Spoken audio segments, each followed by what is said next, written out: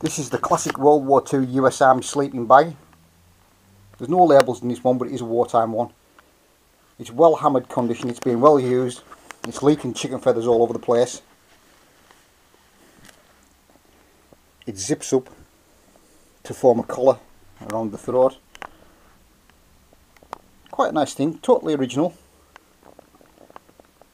So that's the World War II US Army sleeping bag and it, it all rolls up. And you've got the US letters there. They're the keepers. So it's the World War II US Army sleeping bag.